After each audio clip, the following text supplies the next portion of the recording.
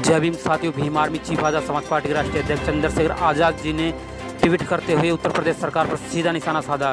उन्होंने कहा है कि निजीकरण के खिलाफ विद्युत कर्मचारी जो हड़ताल कर रहे हैं पूरी तरह संयम न्यायोचित है आपको बता दें कि भीम आर्मी चीफ ने आगे लिखा है कि उत्तर प्रदेश में बिजली एवं पानी की समस्या के लिए सीधे तौर पर सरकार जिम्मेदार है।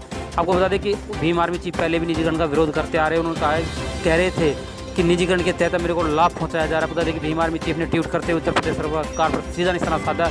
और कहा है कि जो कर्मचारी हड़ताल कर रहे हैं, वो संयम न्यायोचित है और उत्तर प्रदेश में पानी और बिजली की समस्या के लिए सरकार जिम्मेदार है। जय हिंद।